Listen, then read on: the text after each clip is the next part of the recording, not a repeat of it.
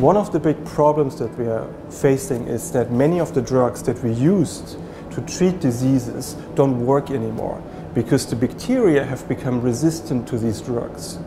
So about 700,000 people die every year from preventable diseases. And even here at the McMaster Hospital, there are about 12 people who get one of these resistant infections every week.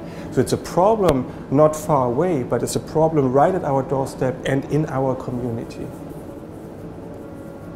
What we find is that the bacteria's surface and the physics of that surface can determine how well an antibiotic can work in trying to kill that same bacteria. By imaging this process at 1 1 millionth the width of a human hair for the very first time, we were able to see findings that were never before seen. We found that this membrane can stop this drug from creating a hole or a pore in the bacteria surface. And by doing this, this bacteria prevents this drug from working.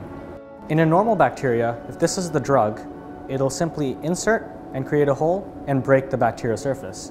But now, when the bacteria becomes resistant, it can't poke through. Instead, it'll just lie on its side and the bacteria will be unharmed.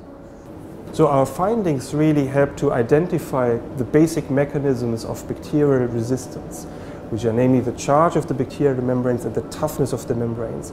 And these findings have a great impact on our understanding of bacterial resistance, but also on the development of future antibiotics and possibly the improvement of existing antibiotics.